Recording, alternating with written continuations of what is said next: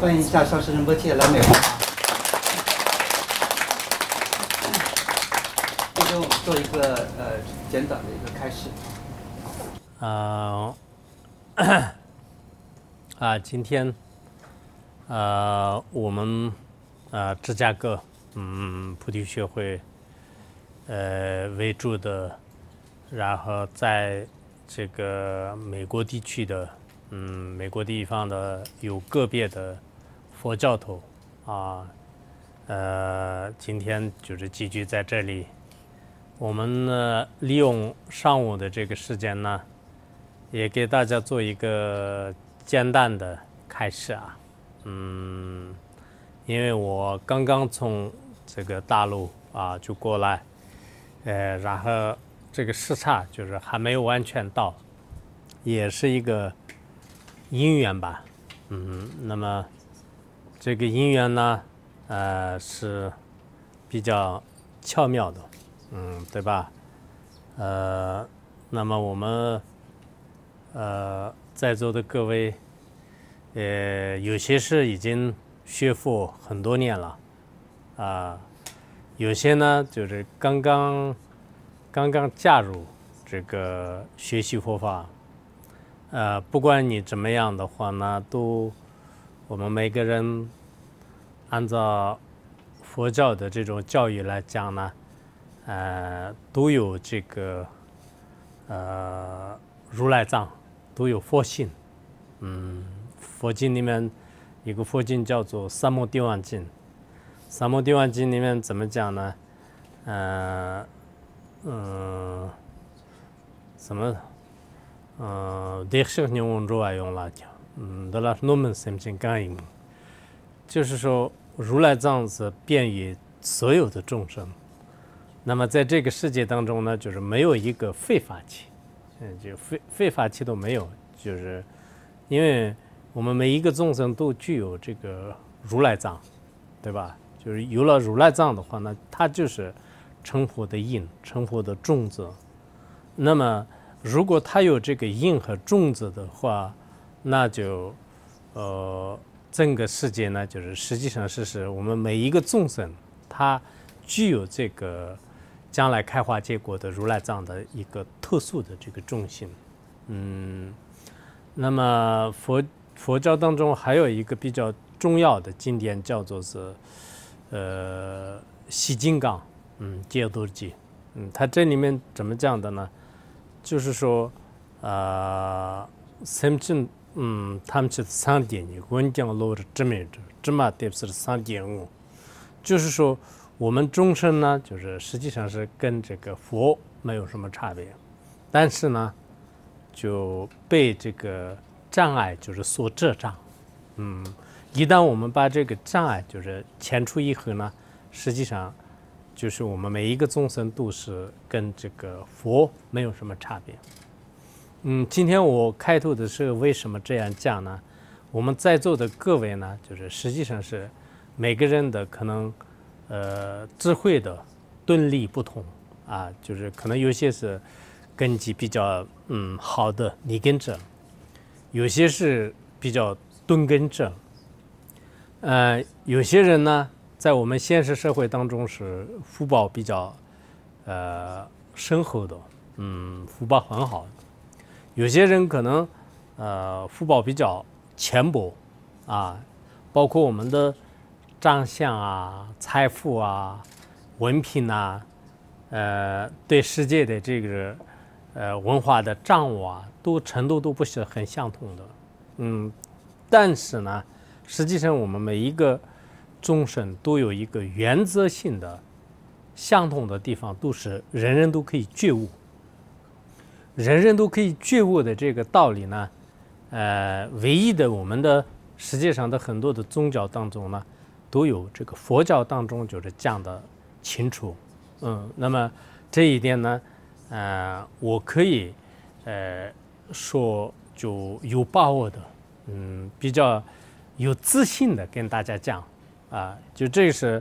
呃，我一并不是正因为我自己是学习佛法，就是所以我觉得很佛法很殊胜，不是这样的，嗯，我们每一个呃每一个人。就是每个人的这个各自的信仰都不相同的啊，但是对每个人呢，就是对这个宗教都有有有尊重，就是这都是非常非常重要的。嗯，刚才我们有一个大学就是研究伊斯兰教的啊，就是有一个女孩子就我问她，她是西方人，呃，我说你研究伊斯兰教的话呢，那么啊，你觉得整个这个圣，嗯，它的存存存在是到底你自己是怎么样的？他给我一个很巧妙的一个呃方式来回答，他说。很多人是是相信它是存在的，但他也认为呢，呃，这个自然的这种声音哈，自然的这种呃这种东西呢，应该是存在的。嗯，其实这种方法是我们很多人来讲应该应该值得思考。嗯，你是如果是佛教徒呢，那么就是按照这个佛教的观点来讲，可能有些道理是呃。比较明白的，但是非佛教徒对这个事情不一定那么的明白。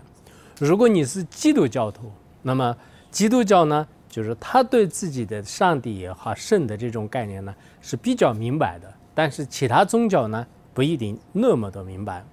那么你是一个伊斯兰教徒，那么你呢也是对自己的这种住的这种人士也好，或者他的教义呢是比较明白的，但其他人不一定很明白。如果你是非佛教徒，但是你对自己的这种这个无生的无生论的观点，或者说是，呃无宗派主义的观点呢，就是比较认同的。可是其他人呢，不一定所有的人都是这样的。所以在这种情况下呢，我们应该有一个比较客观的、正确的，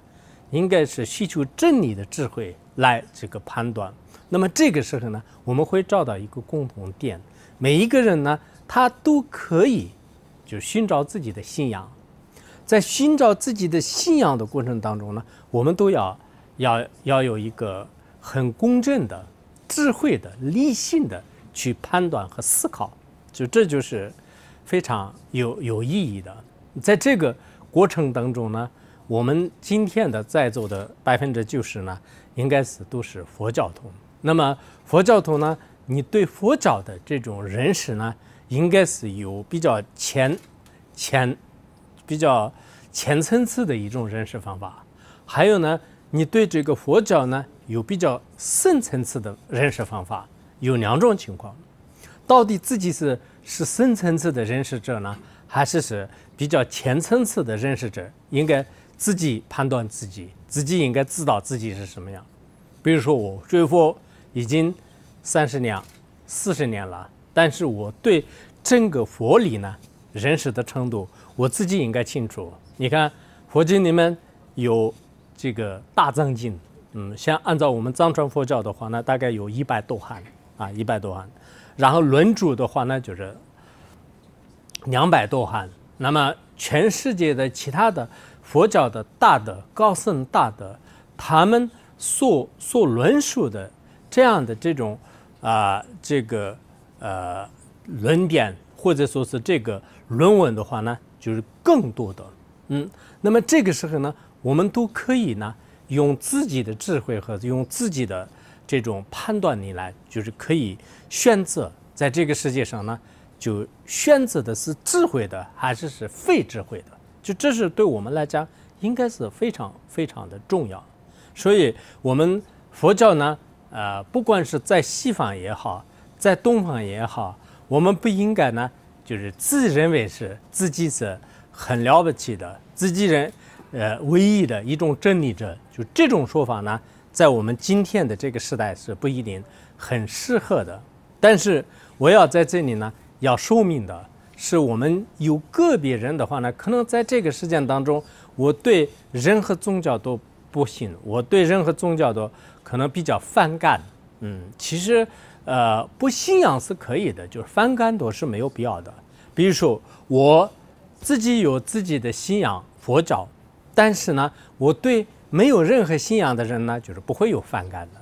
我对其他的信仰宗教者呢，我不会有有任何的反感的。所以我从从个人而言的话呢，我是学习佛法的，但是我同样的可以尊重每一个没有信仰的，每一个信仰这个其他宗教的所有的这些人。所以，我们在这个社会当中呢，每一个人应该自己有一个特别的这种包容的这个心态，因为我们心底无事呢，就是天地旷。啊，就是如果自己的心呢没有很大的执着，没有很大的这种狭隘的这个呃思想的话呢，可能整个世界啊就是广阔、美丽无比的。如果我们自己的心特别特别的狭隘、狭小的话呢，好像在这个世界上是唯一的我的观点就是可以容纳的，但除此之外，与我相违的、与我不相干的、与我相排斥的所有的一切思想和。牛排呢，就是全部都是是我要这个排斥的话，那这是并不是很科学的。所以，我们今天呢，就是在这里跟大家的要讲的呢，就是这个呃，很多人就是皈依这个佛法呢，呃，从两方面来就是可以理解的。从一方面呢，从你自己的心性、甘心，也就是说，按照佛教的观点来讲，可能前世的是有这么一个因缘。那你从小的时候，不管是看到佛像也好，佛经也好，佛教当中的这个僧人的话，你自然而然的是被他吸引住的。你对他有一个特别强烈的信心，有一部分人是以这种方式来就可能去信仰的啊，就有这么一个人。还有一部分呢，并不是你的这种甘心，嗯，并不是你的因为信心而遮住的，而是你的什么呢？你的智慧，嗯，这是在佛教的。啊，这个嗯，叫做学记论啊，就吉天菩萨的学记论当中呢，就讲到了，就是有人呢以智慧来，就是先这个入门的；有些人呢以自己的信心来入门的。那么以智慧来入门的这种人呢，就是通过自己的这种判断力、分析力、自己的想象力，就是进行去去挖掘、探索、去探究。在这个过程当中呢，会知道，就是我们在这个实践当中呢，比如说佛教当中所讲到的外在的一切万事万物呢，依靠因缘而产生的。那么内在的，包括我们的心啊、烦恼啊、智慧啊，这些呢有内在的这种因缘。但这些因缘呢，如果用自己的智慧来进行观察的时候，其实它刚开始呢，就是有实有的存在。然后这些实有的这些东西呢，慢慢慢慢去观察的时候呢，就变成了这个如梦如幻的，只有一个现象，但实际上它的真正的本体呢，都并不是很存在的。让你再有深度的去观察的时候呢，念一个如梦如幻的这种现象呢，到最后的是真的是不存在的。那么那个时候呢，我们经常就是叫做是佛教的这种空性，但是佛教的空性呢。也实际上是并不是它单有的一个空性呢，就非常著名的一个论点叫做是中观根本会论。中观根本会论当中呢，龙树菩萨是这样讲的：因为不空的法不存在，就空的法呢，就是也不可能存在。为什么呢？因为这两个是互相关带的啊。空和不空呢是关带的，长和短呢就是关带的，左和右呢宽带的，你和我也是是关带的。所有的这些关带法呢，就互相的按你的。如果一旦就能按你的一个法，当它就是瓦解或者没有的话呢，所按你的另一个法呢，就是也当下就不存在了。那这样的因缘呢，就我们所有的因缘的法呢，就是的确也是不存在的。这种道理是谁说的呢？是本师释迦牟尼佛为主的佛教的这些成就者，或者说是是觉悟者，就是他说的。那么他说的这些道理呢，让我们不管是什么众生，就是在迷乱的、幻化的这个世界当中呢，让他真的要这个悟出来。我们去用自己的智慧去分析的时候呢，最终确确实实是他说的这种道理啊，就我们可能不得不承认的。不管你是西方人，你是东方人，你看看万事万物的这种现象，对我们每个人来讲，眼耳鼻舌色的对境呢，就是确实是存在的。可是我真的是存在的这些法呢？如果我用我的智慧，或者是是用生者的这些智慧来进行推断的时候呢，那么我的眼识跟外面的设法之间的所有的关系呢，就是到最终是没办法建立的。那么这一点，可能你们在座的有些人没有学习过中观的话呢，也许不一定是非常的明白。但是你真的是学习了一些密法的啊，这个建立空性的一些道理，还有呢，我们先宗的一些关于这个中观般若空性的有些道理，呃，已经闻思过，已经学习过的话呢，到最后的时候，就佛教里面所说的这些呢，并不是它是一种讲故事。也并不是讲一个神话，也并不是呢，就是讲一个无中生有的道理，而是应该确确实实是在我们实际的现实生活当中呢，色不异空，空不异色，色即是空，空即是色，这样的道理呢，是我们自己的这种智慧来，每一个人都是体验得到的啊，就是有深度智慧的人呢，他也用深度的会会碰到了这个道理。如果没有深度智慧的，或者有广度智慧的话呢，用广泛的方式来也会了解到，就是这种道理。当然，这样的道理呢，我相信我们每一个人的智慧的深浅都不相不相同的。但是呢，实际上他所得到的这种结果呢，完全都是可以就是相同的。因此，我自己呢，呃，学习佛法这么多年以来呢，不管是在东方也好，在西方也好，在哪哪一个。角落当中，哪一个这个肤色不同的这个人面前的话呢，我还是无有畏惧的啊，就可以说是大胆的，就是讲那个如来的这种呃所谓的这种啊这个教法和真法的一些道理。当我们这些真法和道理讲的时候呢，我相信很多人呢，就是应该是是。在自己发自内心的从智慧当中呢，认识到我们世界的这个幻觉的这个现象。当你我们真正就是认识到世界的幻觉的现象的话呢，佛教里面讲什么呢？这叫做是这个解脱啊，就这叫做解脱。所以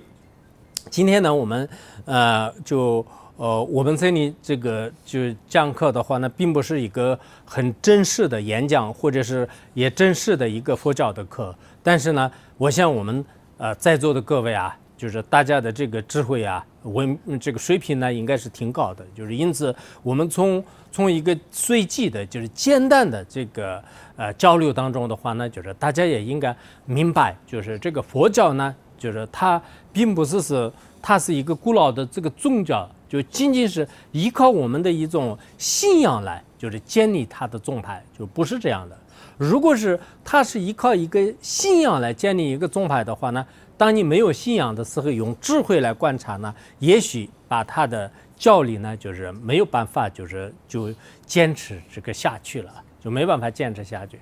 当一个真正的智慧的宗教的话呢，在任何一个时代，在任何一个科学的这种呃这个呃理性的。啊，就是智慧和观察的这种呃前提下呢，它完全的是经得起就所有的这些抛弃。所以这样的这个宗教的话呢，我想我们在这个世界上呢，到底是有没有？你们在座的很多人也是是呃，应该是有学问的、有知识的，应该应该不仅仅是依靠一种信仰来就是建立。当然，这个信仰呢，就是在宗教和在佛教当中是它是很重要的。它是很重要的。如果你没有任何的信仰，啊，你对某一个宗教和每某一个啊这种注释呢，就是带有一种忽视严谨的这种啊观点来看待的话呢，也许你所看到的是不一定是都是嗯就很妙的啊。就比如说你一个人刚进来看到一个佛教徒啊，就是他就是佛教徒，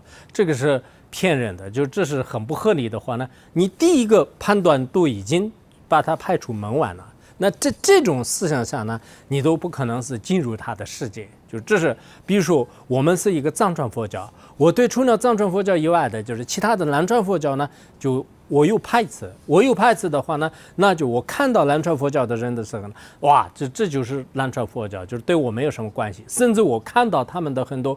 这样那样的错误啊，就是这样的话呢，那就是说明我自己呢。是自己的问题，并不是对境的问题，所以，我们在这个世界上呢，就很有必要，就是人他自身呢，就是有一个特别特别，呃，真挚的这种观点啊，就人要真挚的观点。如果没有人真挚的观点的话，也许不仅仅是我们在宗教上面的问题，实际上是我们个人与人之间的关系呢，也有这样的问题。比如说，我对某个某个人有看法，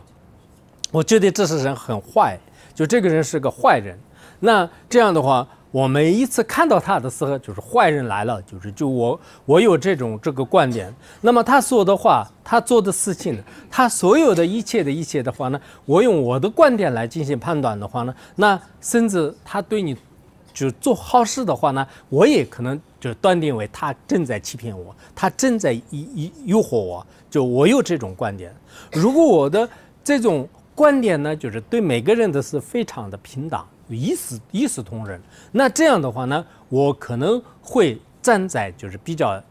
合理的，就比较啊公正的这个立场。在这个时候呢，我对别人的判断呢是正确的，没有错误的，应该完全是合理的。所以，我们有时候人呢，就是实际上是用自己的狭小的一些眼睛来这个看待这个世界，看待诸位的这种人的时候呢，很有必要。就是要反观自己，要反省自己。如果没有反省自己的话呢，你自己认为是自己是正确的，但实际上呢，就你自己一个犯了特别大的弥天大罪，有这样的可能性和危险性。因此，我们有时候呢，就是也可能需要，就是用自己的这个智慧，经常要观察自己。这叫做佛教里面叫正知正念。也就是说，用自己的智慧来，要观察自己的身体，观察自己的语言，观察自己的心态。那么这个时候呢，你会发现，就是有时候自己呢。说的语言呢，就是也不一定很正确的；自己心里面想的这些分别念呢，也不一定很正确的。那么你自己的身体所做的有个别的行为的话呢，也许因为你的动机不好，你的心态不好的原因呢，也许是不一定很正确的。所以呢，有时候呢，我们不一定是跟着自己的性走啊。有些年轻人呢，现在经常有这样的：我是自由的，我不需要任何人来阻挡、控制我。我应该是跟着我的性走，跟着我的想法走。但是跟着你的想法走呢，有时候是你的智慧部的智慧者呢，就是会可能。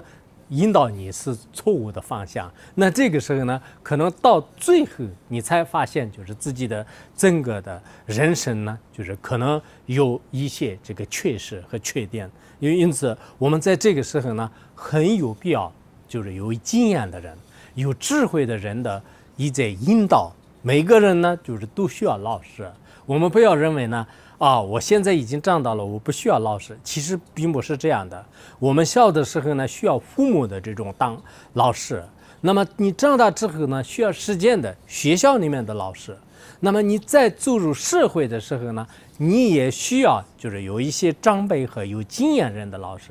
那么我们在学习和修训的过程当中的话，也需要就是三知识的引导。啊，这是非常非常的这个需要，因此我们今天呢，可能要跟大家要讲一下，就是这个呃，皈依佛教之后呢，就是我们是怎么做啊？就是在这方面，我稍微呢，就是跟大家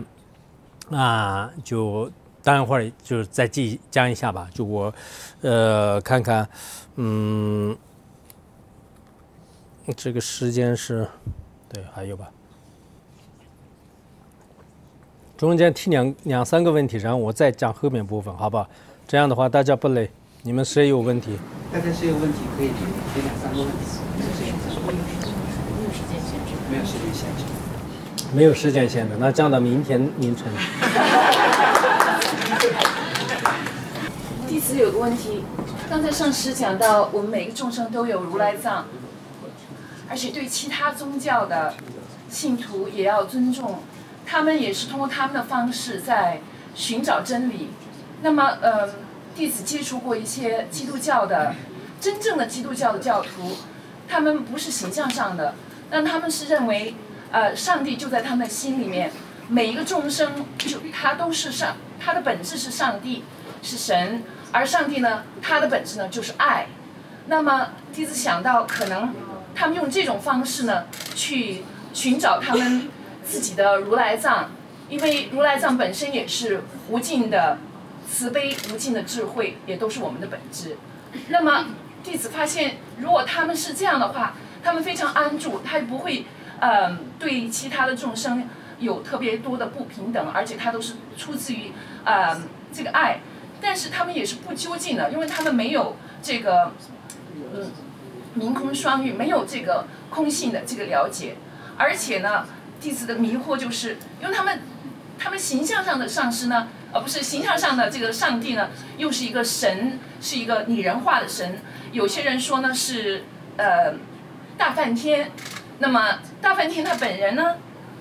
是一个众生，是一个轮回中间的这个众生。他虽然可以给这些人间的众生一些爱，或者给一些指导或者善恶的指导，所以他们最后要怎么样呢才能解脱？而而且他们的上帝到底是是什么？感恩上师。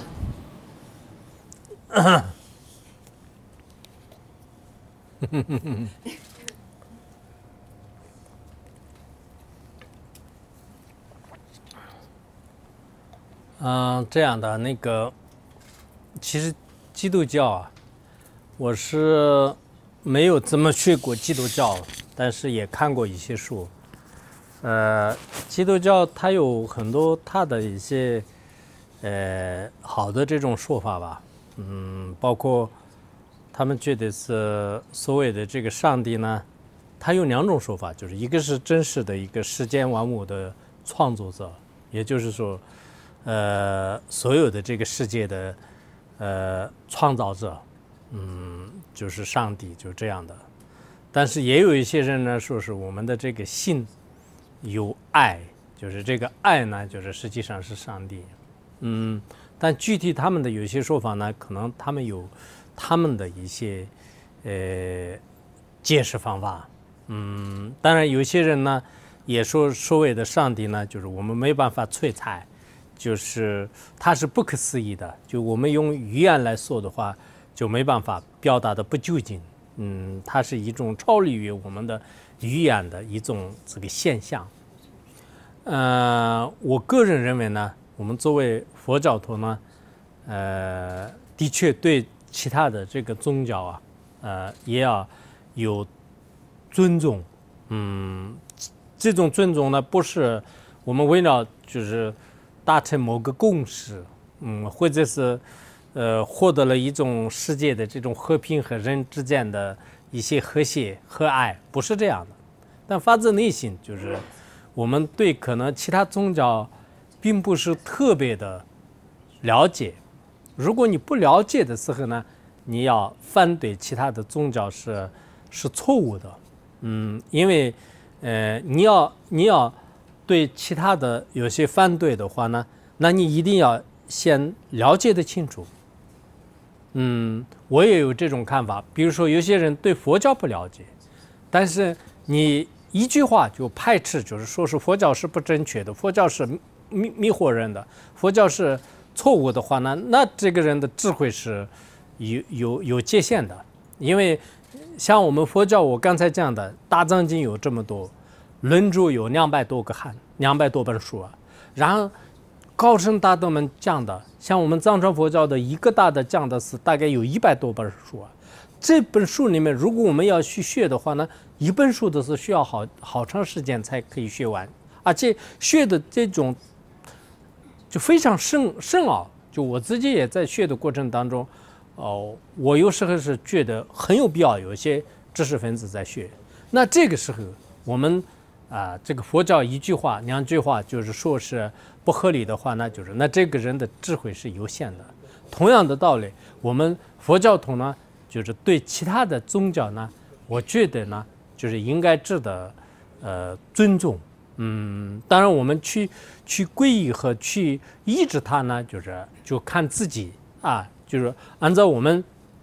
佛教的呃这个呃这种皈依啊，呃，就是讲到皈依的话呢，那么呃皈依有他自己的一种一套完整的完整的这种规则，这种规则呢也很重要。我们现在有些佛教徒的话呢。在学习的时候，你可以广泛的这个学习所有的宗教，甚至呃没有任何信仰的一些理论呢，我们可以学习。但是你内心当中呢，作为一个佛教徒，一定要自己有一个呃自己的这种益处，嗯，皈依的这种处，呃，那么这是在藏传佛教当中著名的阿底夏尊者啊，就是他讲到了这个皈依的时候呢，有五个原则。那么第一个原则呢，一旦就是皈依了这个佛法之后呢，就是遇到这个生命危险呢，就是也不要舍弃它。即使你获得了极大的这个奖赏啊，就是获得了很大的一些这个赏赐的话呢，你也不要舍弃。这是这样的第一条。那么第二一条的话呢，就是说你真正的这个皈依了佛教之后的话呢，那么你应该就是呃遇到了任何的重大的事情呢，你要想到就是这个佛陀。嗯，那么有些人可能想，那是不是我们佛教徒呢？呃，所有的一切遇到困难的时候，包括生病的时候呢，不不去看医院，就是是念个佛就可以，不是这个意思。我们作为佛教徒呢，你生病的时候就是去去去医院，一定要去的。还有你遇到麻烦的时候呢，你帮照其他的这个人，但是你内心当中呢，要这个祈祷佛。就是因为佛有一种我们人就是没办法能解决的一种力量在这里，嗯，这个这一点的话，可能有有一定的智慧的人才能才能明白，就是佛有到底有一些超出我们的想象的一些力量，嗯，这是很很重要的，这是佛就讲到的第二条。那么第三条呢？就是自己已经就是皈依了佛法之后，如果自己觉得他是一个理性的，他是智慧的话呢，那么让其他有缘的众生的话呢，你也让他们就是建议或者说介绍，就是屈入这个佛门的话呢，那么对众生和对自己是有利的。那么我们作为呃佛教徒的话呢，我们并不是是要抢别人的信徒，也并不是是让非要就是很多人来，呃，就是。扩大我们的团队，就是这事没有。如果我们我们学的、我们修的是不是真理的话呢，人越来越多都不好。但是如果我们学的是真理的，那么求的是真法的，那这样的话，那我们呃还有很多迷乱的这些众生，让他们去入皈依的话呢，也是非常好的事情。那么这是第三第三条。那么第四条的话呢，啊，平时我们作为一个佛教徒，在信主作恶当中呢。做一些对佛的供养，比如说一个佛像呢，供画啊、供香啊、供水啊，就这样的这种呃行为的话呢，就是非常非常有必要的啊，就非常有有必要的。因此，作为佛教徒呢，呃，至少也是是两三天之内啊，就是在自己对这个佛堂啊，就是在这个供货的这种信念，就是一定要有的。就这是表面上看呢，它是一种形式和行为，但实际上呢。就这里面有广大的这种资量和广大的功德，那么这一点呢，你可能就很虔诚的学习佛法之后呢，才知道是供佛的功德啊。就包括我们讲那个《妙法莲华经》呢，很多佛经当中的话呢，就讲到了它的不可思议的这些功德。那么第最后一条的话呢，就讲到了是什么呢？就是。就你去往何处的话呢，就是要定你，就是这个方向的佛陀。意思就是说，作为一个佛教徒呢，那么时时刻刻的是不能忘记，就是念佛啊。我们有些佛教徒好像很长时间的是根本不懂得这个念佛啊，就是这是很可惜的，就这是很可惜的啊。说实在的，就是我自己的话呢，也经常就是带着一个。带着一个什么呢？就是带着一个佛像，就是不管到出差也好，不管到弘法也好，不管到哪里自己修行的话呢，我带着一个释迦牟尼佛的佛像，就是因为我是一个佛教徒的话呢，我跟其他的这个行为呢，应该完全不同的。我如果我的行为和我的信仰，我的一切所作所为是跟没有任何信仰的人一模一样的话呢？作为是我是一个应该是比较失败的人吧，我自己这样认为的。因为我的生命当中，我选择了就是这个 for，。那么既然我选择了这个 for 的话呢，那我的任何一个行为当中呢，我还是表现出一个逆佛的，就是这么一个行为，就是这也是是非常重要的。因此呢，我刚才跟大家介绍的是什么呢？今天我们在座的很多都是是，呃，让我讲一下就是关于皈依方面的一些道理吧。那么阿底夏尊者呢，就是在整个印度的这个东部和西部的话呢，就是没有当时没有人比他的就是呃非常了不起的，非常非常了不起的一个大智者。那么他呢就归纳起来，就是作为佛教徒的话呢，从五个方面啊，就是从五个方面呢，要要应该自己有自己的一个规则。那么这个规则呢，就今天的在座的佛教徒呢，在以后的行为当中啊啊，我们要讲到一个道理之后呢，最好是这个道理呢，在自己终身当中要用的。啊，就是比如说你们这里今天是有些人是二十多岁、三十多岁，但是你到了这个五十岁、六十岁的时候呢，你还用用这个规则无条的话，那在你的生命当中是是有有帮助的。而且你作为一个佛教徒呢，也是基本的这种规则，如果不懂的话呢，我觉得也是是比较比较不成功的。因此，呃，今天呃就有个别的这个佛教徒呢，我相信就是很多人的也许听过，但是呢，我们在实际当中，并不是光是理论上听一下就可以，我们在实际上上的话呢，就是看看能不能，我们遇到什么大的事情的时候，我们会会不会涉及三宝，就是这也要反问自己。然后我们啊，就遇到就是重要的一些事情的时候呢，我们会不会？就是有这个佛，就是祈祷佛，就是来这个加持我，就是会不会这样的？但是我们第一个是寻找什么？就是一归一处，就是这个要要观察。然后我们在行住坐卧当中呢，有没有逆佛的？就是这么一个习惯。我们自己皈依以后的话呢，就是我们按照作为一个大乘佛教徒呢，我们有没有就是经常让别人呢，就是也是进入这个佛门呢？我刚才都是看到我们芝加哥的个别的道友的话呢，也经常在自己的这种学习和自己的啊这种信仰的同时呢，也把分享给其他人。那么有有缘的这些人的话呢，也已经就是就同样的就是跟你一起学习。其实这是恩德非常大的啊，就是像我的话呢，也是是刚开始。学佛是我从小都是学佛，但是呢，一直上知识的话呢，我其他的这个上师呢，也是让我就是皈依某个上师，就是上师九美盆座的话呢，我觉得是对我来讲是恩德很大的。因此，我们让其他的人呢，就是也是带进来，就是非常重要的。然后最后一个刚才讲的，我们作为一个佛教徒，还是经常呢，就是也有需要。就是自己的行为上呢，就是跟其他有点不同的。如果跟其他人完全相同的话呢，在他的这个信仰和他的这种皈依呢，也到底是什么样，自己也可以回答自己的问题。这是我中间讲一下，你们还有什么的话呢？也中间再再缓解一下，就是有什么问题，好不好？来，你来。上次好，在这边弟子请问一些问题啊，三个小问。第一个小问，观想是不是一种迷乱？第一个，第二个就是上次在观想什么？观想是不是一种迷乱？嗯，这是第一个问题。第二个问题是上次在前行的寿命无无常这个引导文当中，时常在讲，今天可能是我最后一次。好，包括上次说出城的时候，到出城的时候，就是说我可能就到这边就不回来了。那么呢？为什么在国外有一个视频叫做吸引力法则？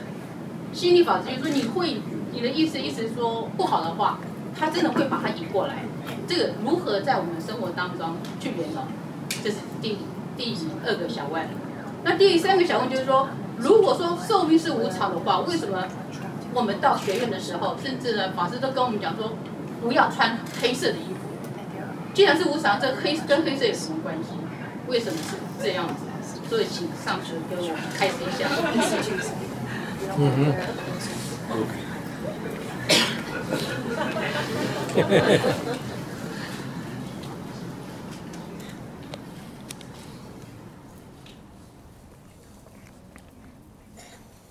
嗯 OK。嗯，第一个问题啊。嗯，说是是，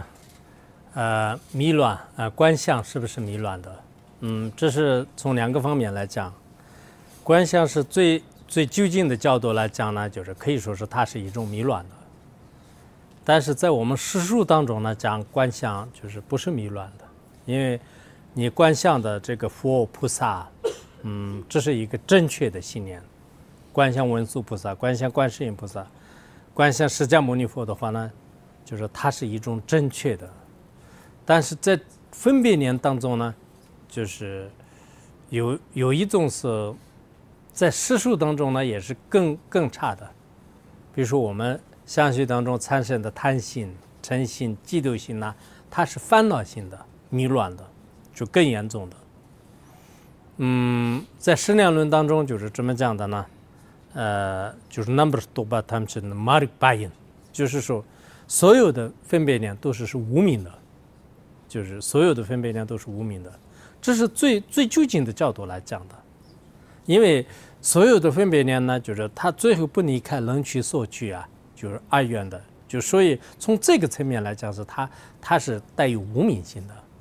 但是我们在世数当中，就是有一个迷乱迷乱的这个现象和迷乱的这种呃智慧。那么这个时候智慧是对峙的，就是迷乱的现象呢，就是让让退退翻的。嗯，那么这是就像我们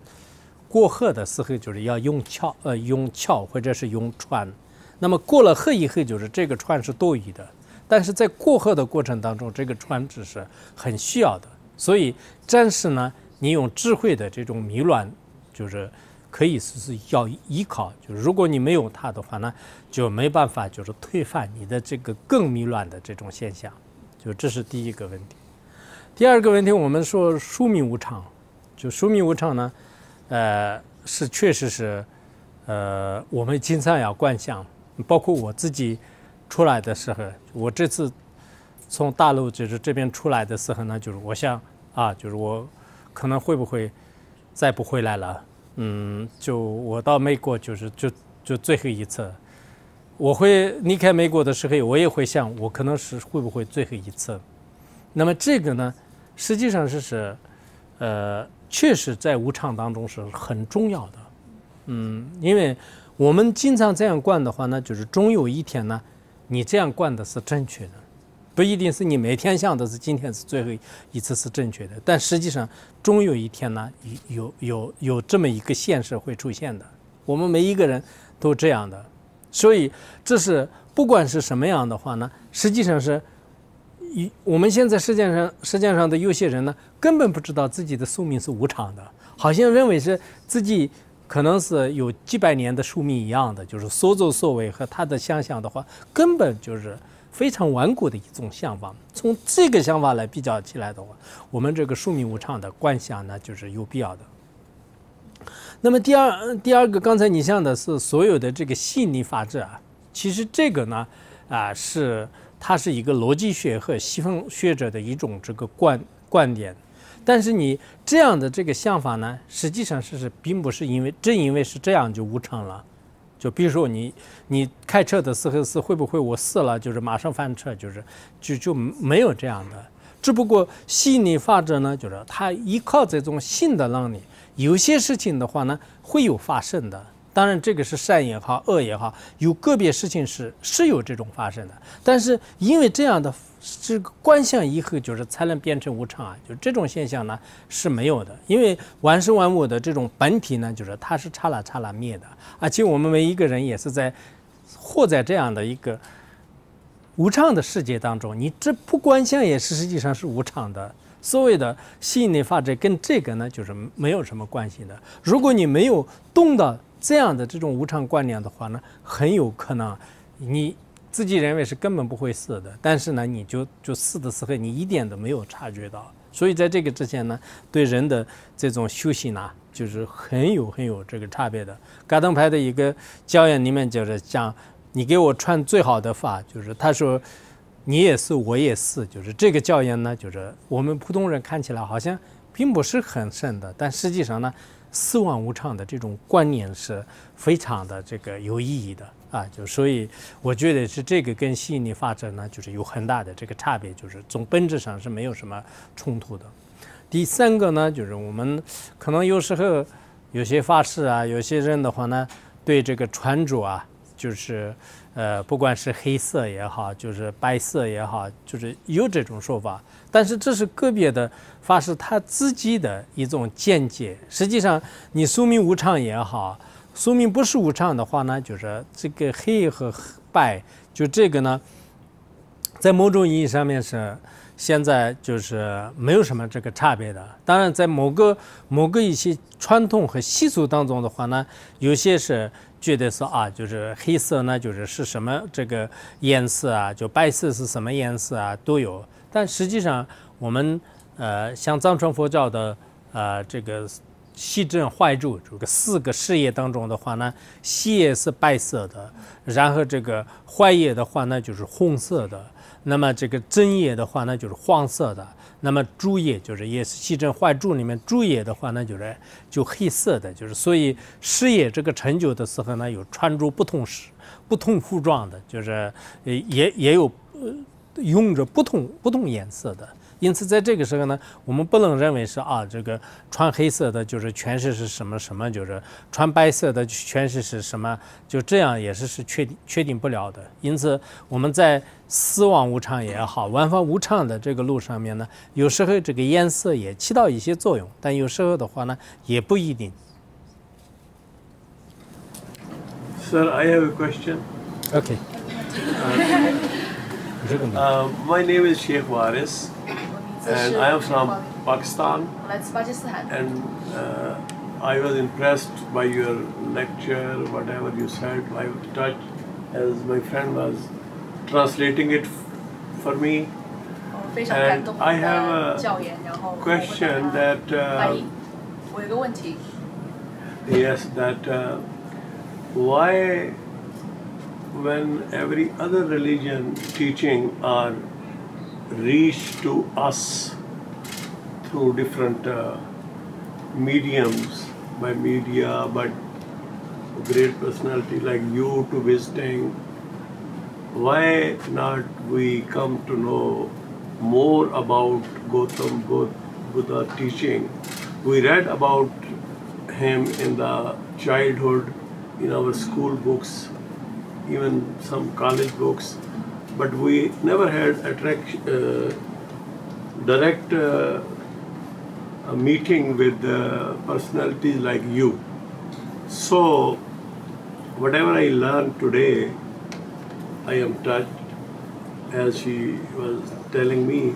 But when I will go back, what should I tell my children? They will ask that, that you went there and attended the religious meeting of uh, Buddhism, what should I tell them that what is the basic, what are the basic difference between uh,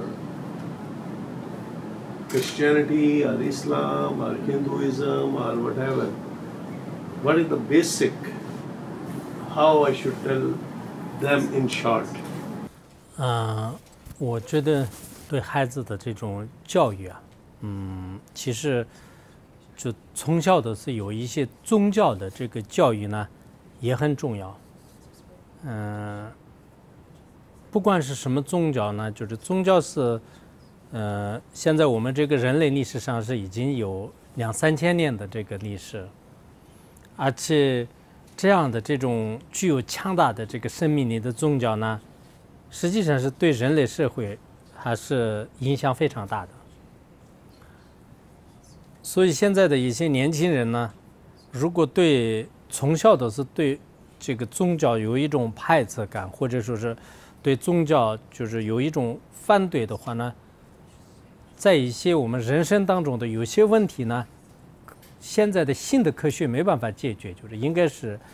依靠一种宗教的这个力量来解决的话呢，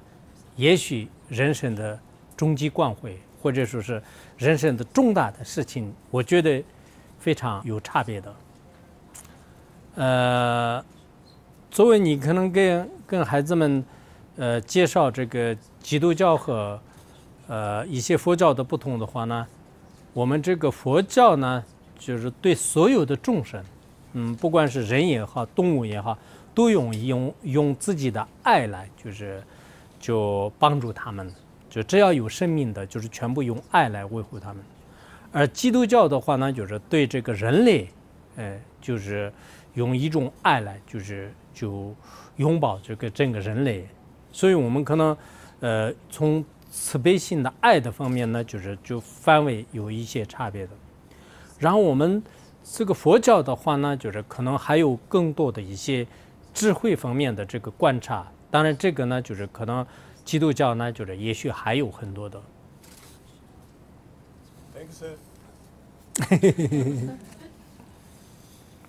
嗯，其他的就就基本上没有什么了，啊、就算是我们商务的这个法已经圆满了。哦呀。